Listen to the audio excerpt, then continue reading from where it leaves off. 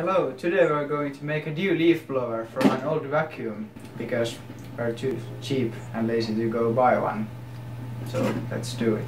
So we're going to cut a suitable piece from this PC side panel and cut a hole in the center of it and attach it in place with tape and something and then attach this to the hole in the center. So let's mark and cut the piece.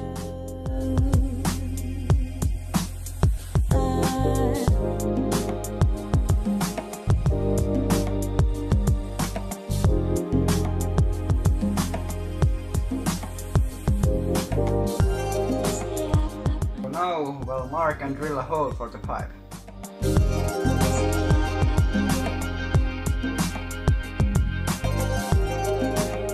Our drill part is of brilliant quality. So now we'll just tape everything in place.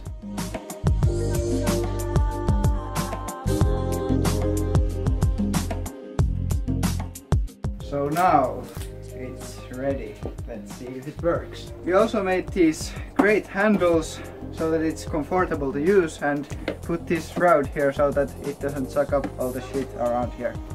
So let's see how it works.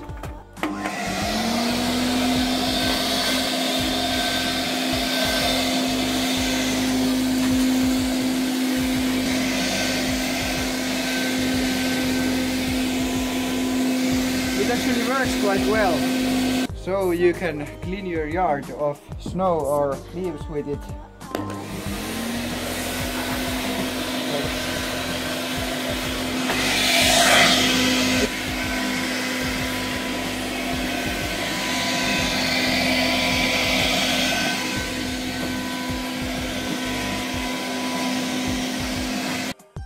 So this is the perfect leaf blower. It works really well, is extremely cheap or even free if you have an old vacuum cleaner lying around and it also is environmentally friendly because it uses electricity instead of gasoline. So that's it for this video. Thank you for watching. Like, comment, subscribe and we'll see you next time.